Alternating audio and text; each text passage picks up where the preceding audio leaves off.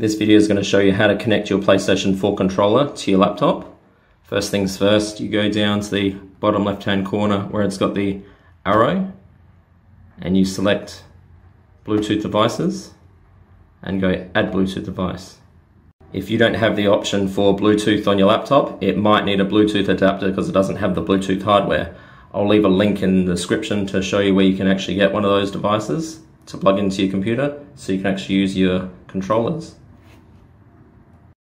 Next, you get your PlayStation 4 controller and put into pairing mode, which is holding in the PS button and the share button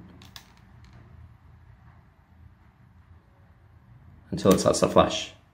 Once it starts to flash, go add device, Bluetooth, and you'll see it comes up as wireless controller. Select that, and now it's connected. Simple as that. Hope that helps. Thanks for watching.